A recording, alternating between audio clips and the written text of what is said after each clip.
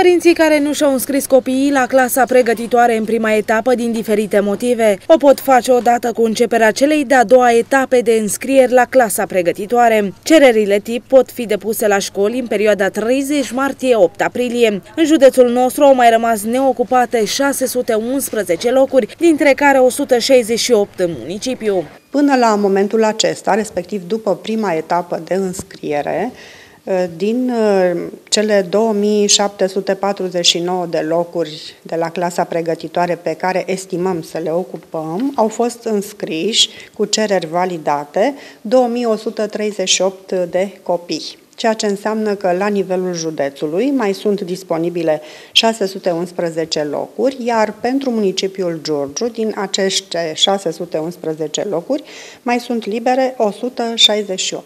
După încheierea etapei a doua, în perioada 11-15 aprilie, se va face procesarea la nivelul unităților de învățământ, aplicând procedura specifică elaborată de inspectoratul școlar pe baza criteriilor generale și a celor specifice de departajare în limita locurilor disponibile. Pe 15 aprilie se vor afișa în unitățile de învățământ listele finale cu înscrierile la clasa pregătitoare. Potrivit reprezentanților Inspectoratului Școlar Județean Giurgiu, numărul înscrierilor efectuate până în prezent se află la același nivel ca și cel de anul trecut.